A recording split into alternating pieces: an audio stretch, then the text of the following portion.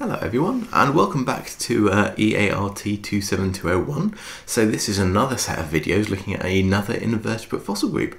This time a really cool group called the echinoderms. You've probably come across these if you ever have spent time for example on a beach. And over the course of this particular video, as per, I'm going to be introducing um, the group and talking a tiny bit about their biology and where they fit on the uh, tree of life for example. So there are five major groups of echinoderms that are alive today. That includes the sea urchins, you can see here, uh, the starfish, which you can see here, the sea lilies or crinoids. I will probably be using those two interchangeably because a crinoid is qu quite a commonly used term. Um, you see an example on the right hand side here. Um, they also include uh, weird creatures called sea cucumbers. There's an example of these here. If I accidentally see, say sea slugs during the course of this lecture, that is incorrect. Uh, sea slugs and mollusks, these are sea cucumbers. And they also include the um, brittle stars, which you see in the top left here. So examples of um, these you may have come across include um, sand dollars, which are examples of uh, sea urchins. And indeed, I think probably sea urchins are the most familiar uh, of these groupings to us because they're easily found on basically any beach today. So the echinoderms are a marine only group. They only live in um, salt water. They're not good at dealing with, for example, fresh water. Um, all of them are equipped with a water vascular system. So we'll be getting onto what this is um, in a tiny bit more detail, but not that much to be fair um, sometime soon. Which this this system, um, which is what it sounds like on the tin, right? It's a vascular system that's made of water, controls uh, tube feet. So these are um, feet that this the members of this group can use to manipulate food, for example, or move around. Um, all members of this group also include a skeleton that's made up of calcitic plates.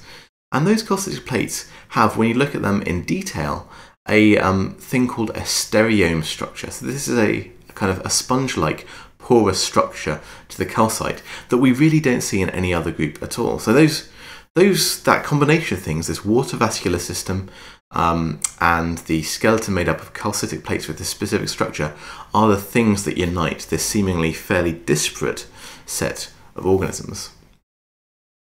As ever, there are some exceptions to this, but bear in mind uh, that is the kind of the ground plan for this group.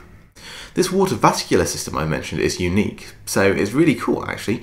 Um, water is forced around a series of tubes, the plumbing, using muscular action.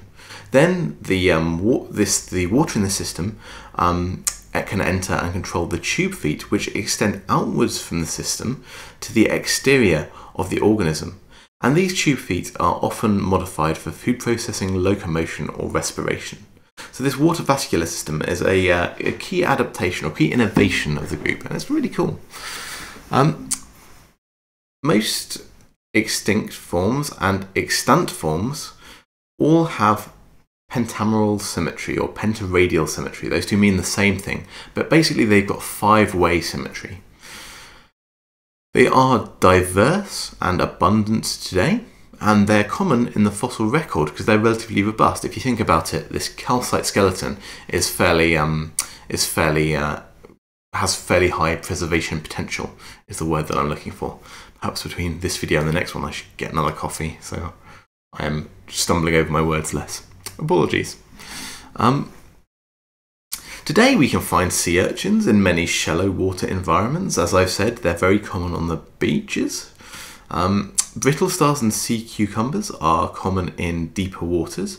Uh, often we will find uh, uh, the starfish in uh, as scavengers on the seafloor.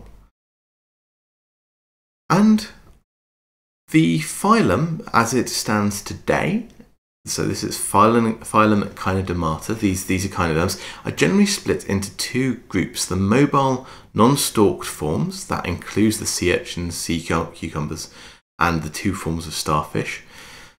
And then a group that is mainly fixed and stalked. These are our crinoids on the right-hand side here. Um, a fun fact I discovered when writing this lecture that I wanted to share with you is that it's really cool. If you cut the arm, well, not for the starfish, if you cut the arm of a starfish, in some groups, they can actually regrow from the arm um, to create a whole starfish again. So naturally, uh, I, I, then wondered what happened if you cut all five arms off, uh, whether you would get five clones of, uh, of that same starfish. So I asked uh, my mate Imran, who also happens to be a uh, leading expert on the fossil record of the echinoderms, um, and he informed me that in theory, as long as each arm has a bit of the central disc that makes up one of these starfish that can regrow themselves, um, you could basically regrow five clones by splitting it into five. Isn't that cool? Not for the starfish, but you know, that's a really cool fact. Very useful for pub quizzes. So yeah, starfish are awesome, is what I'm trying to get across there. So that's a very quick overview of the echinoderms as a whole. Um, and they've actually got this wonderfully rich fossil record as well that goes back all the way to the Cambrian period. Well, at least. Um, not uh, the uh, Cam we have Cambrian fossils that definitely belong to this group. The uh, the living uh, groups uh, generally arise slightly later than the Cambrian. That's a small modification to what I just said. So the things I would point out when we're talking about fossils, and we'll get onto this obviously in video three, as I'm sure you're well aware by this point, is that echinoderm skeletons um, tend to disarticulate fairly rapidly after the animal dies. They're kind of their hard bits stuck together with uh, not particularly strong glue, and so it's very common to find skeletal debris of calcitic plates as opposed to the whole individuals, right? So these are common components of rocks, but normally bits thereof rather than complete individuals. Indeed, in some areas, um, these bits of, especially I tend to think of uh, within this context, crinoids, are so common that you get entire beds made entirely or primarily of echinoderm bits and pieces. A particularly obvious example of this is uh, beds called crinoidal limestones, where, where the the bits that make up crinoid stems, these are called ossicles, we'll get onto that in a bit, um, make up the vast majority of the rock. We do sometimes get um, sites of exceptional preservation. Uh, so examples of this are shown on this slide here, and these are starfish beds. These are beds that are characterized by accumulations of complete echinoderms, uh, normally through, for example, rapid burial of an entire ecosystem. Uh, these occur sporadically throughout the fossil record, and the examples um, that I've put on this slide of these fantastic UK Lagerstätten, those are, if you recall, sites of exceptional fossil preservation, are the UK Leintwardine starfish bed, which is found on the England-Wales border. So this is shown on the left here. These are late Silurian echinoderms within fine-grained turbidites, and you can see that the, uh, the level of preservation that you get on these is just beautiful, really is. And another fine example is the lower Jurassic starfish bed that's found in South Dorset in England, which is dominated by brittle stars as shown on the right here that were buried rapidly. So really nice fossils. So mostly bits and pieces, but in some instances we can get whole echinoderms preserved. And those, those are pretty special, as you'll see over the course of the coming videos. As ever, I wanted to show you where these sit on the uh, Tree of Life and the Echinodermata, so this is our group that includes the starfish and the sea urchins, are deuterostomes. If you recall from our first lecture, this means that the first opening to develop in the embryo ultimately becomes the anus in the uh, grown-up animal, and the second hole, or opening, in the embryo forms the mouth. So that means that they're fundamentally different in terms of their development to all of the animal groups that we have seen so far over the course of these lectures. We're sitting here on the tree. The echinoderms are actually sister group to the hemichordates. We'll be meeting those a little bit in a later lecture. And those two uh, form a clade together and they are sister group to the chordates. So one thing I think is really interesting about echinoderms is that they are in part our closest uh, non-vertebrate relatives. So they're part of this clade that forms the sister group to the chordates, which is just mind-boggling, I think.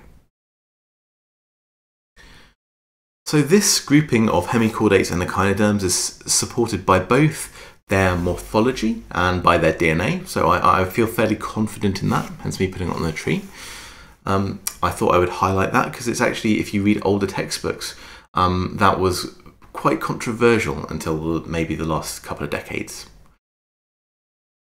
In terms of the taxonomy of this group, so rather than their evolutionary relationships, we're talking about their, their um, categorization. They are members of the phylum Echinodermata, which I could not fit in my box here, so apologies, I just put Ec because, yeah, it was that or make the um, font smaller, and that was aesthetically unpleasing to me. Um, be aware that within the phylum Echinodermata, the sea urchins are a class called the Echinoidea, and we tend to, um, uh, paleontologists at least, um, use echinoids sometimes to refer to just the sea urchins and occasionally, um, probably incorrectly, to refer to this wider group of the Echinodermata as a whole. So bear in mind that that's just a little bit, um, it can be easily confusing. Within this phylum, um, the Echinodermata, there are five living orders, but 18 fossil ones.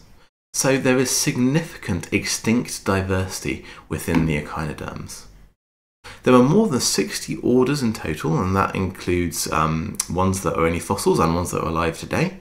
And there are around 7,000 living and 13,000 or so extinct species. Bear in mind that those are both estimates with actually fairly large error bars. I really struggled to find anything um, uh, that I was confident was, uh, was entirely accurate for those estimates. But that does show that this is a relatively species rich and diverse group, certainly more so than, for example, the mammals. So that's a little bit about where they fit in the tree of life more generally. I wanted to spend some of this particular video though talking about their tree, so the tree of the Echinodermata, because I think this really gives um, some good insights into the nature of this group, which is slightly unusual and it's got this such a rich fossil diversity. So the relationships in the group, as I said, are really interesting, and I think especially those which are members of their fossil record. So consider this for context. We have a group of animals that we know started off as bilaterally symmetrical animals. They're a member of this clade, the Bilateria. They have many of the features that we associate with that clade. They have a, um, a mouth and an anus and a foot. They have the same embryology. So we're confident they're bilaterian animals originally, and they have now developed, evolved pentaradial or pentameral symmetry. How did they do this? That means understanding this, or what is key to understanding this, is understanding both their fossil record and the evolutionary relationships within that fossil record, so we can see the stepwise order in which this interesting um, kind of biology evolved. So it's it's just crazy. How did this come about? Well, there is actually no single tree um, or single analysis which has all major living and extinct groups in it. So instead what I've put here is a very large, as I'm sure you're aware, um, what we call a super tree. This is a, a, an evolutionary tree that's made up by taking all of the individual trees um, from different analyses in different parts regions of this one big tree and then placing them all together into one overall tree. So this is different to, to for example, um, say building an evolutionary tree using all of these members um, as as a what we would call a terminal, as one of the uh, creatures here, and doing them all in one go. So this is made up in a bitwise fashion. And here you can see the echinoderms as a whole, including the fossil members of the group, with the five living members of this group marked on with these black stars. And you can see that what we have here is, um, is really sampling a very limited uh, grouping of an otherwise very um, diverse group. So what we see today represents only a limited amount of their historical diversity, and uh, it's interesting to note that many of these are now mobile, and many of the, the organisms that we've lost are those that are attached. That, that seems to be a pattern that we see in the fossil record of this group.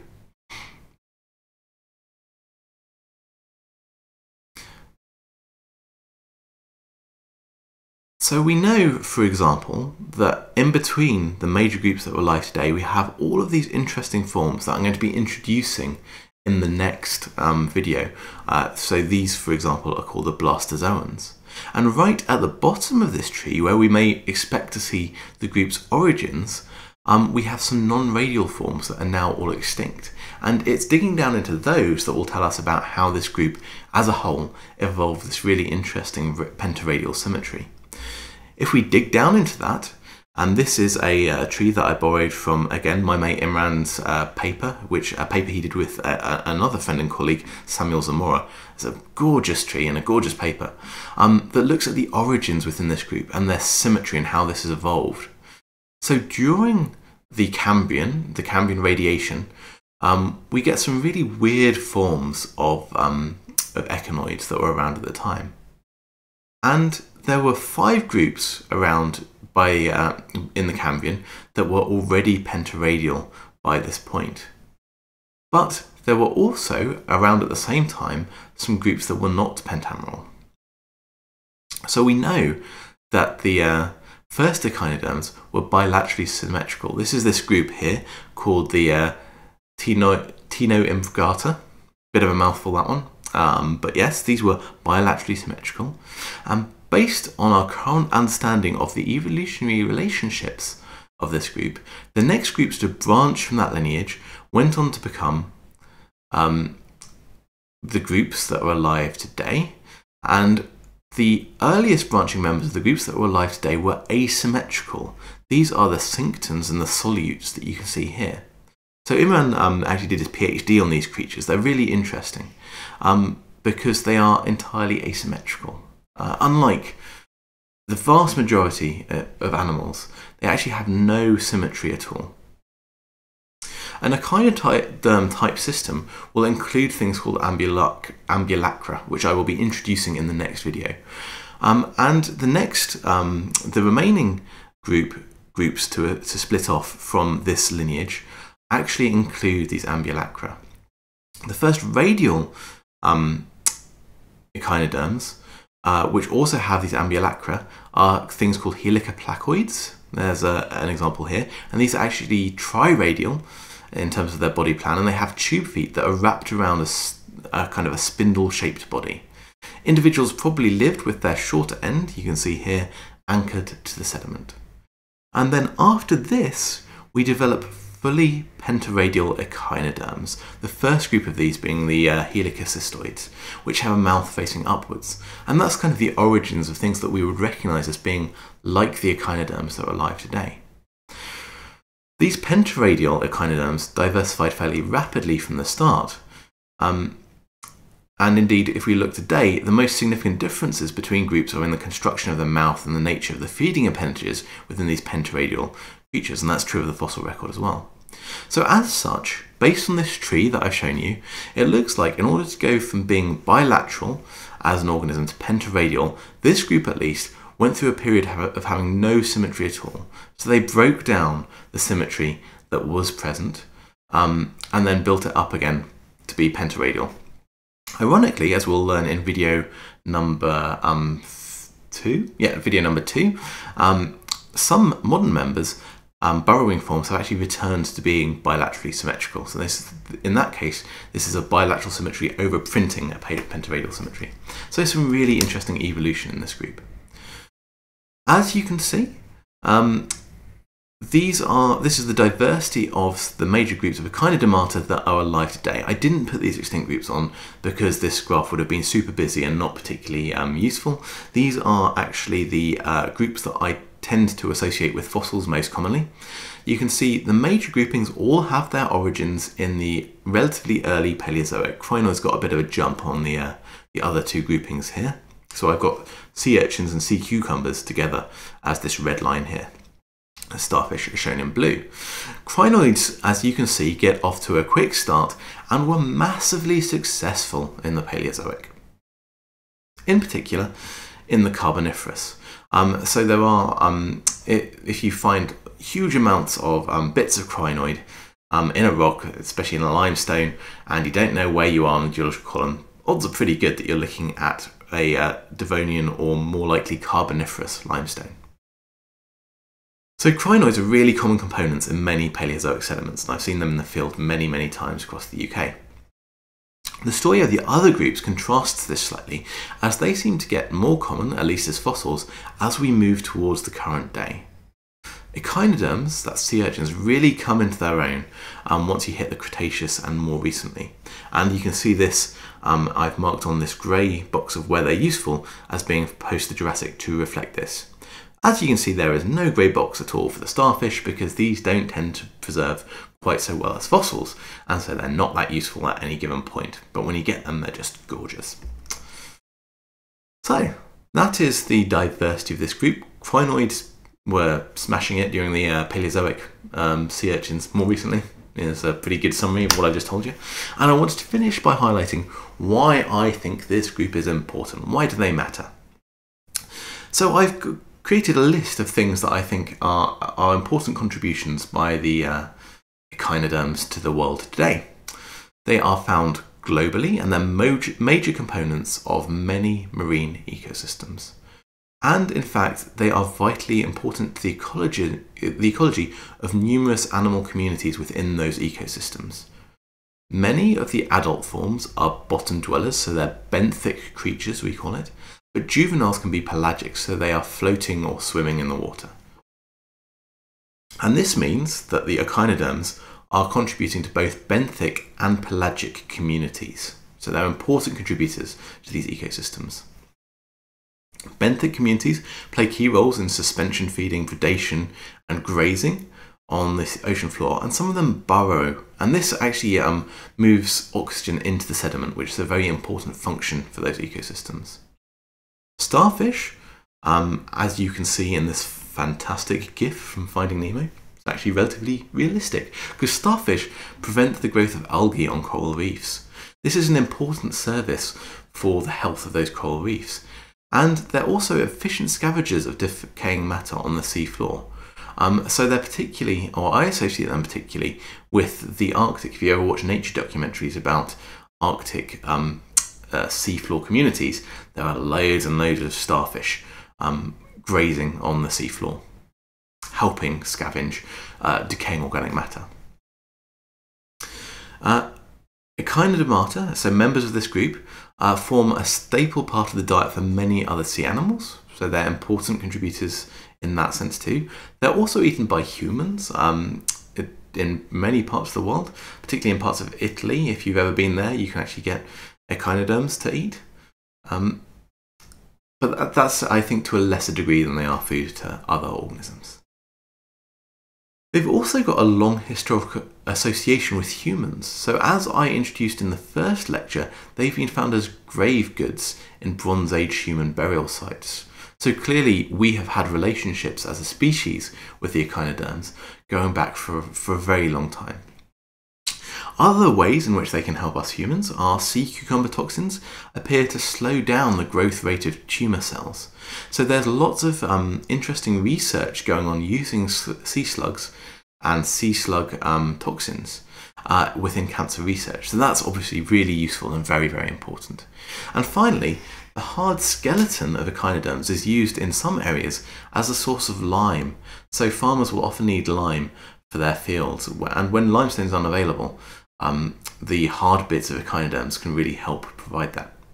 So for all of those reasons, I think this is an important grouping of organisms that we should uh, we should consider very very uh, important to both us and to ecosystems more broadly. That was actually a, a surprisingly uh, long and in-depth introduction to uh, the echinoderms. Sorry that I went on a bit, but I think the Cambrian fossil record in particular for this group is really, really interesting. And I will see you again in the next video where we're going to be looking at the morphology or the anatomy of this group.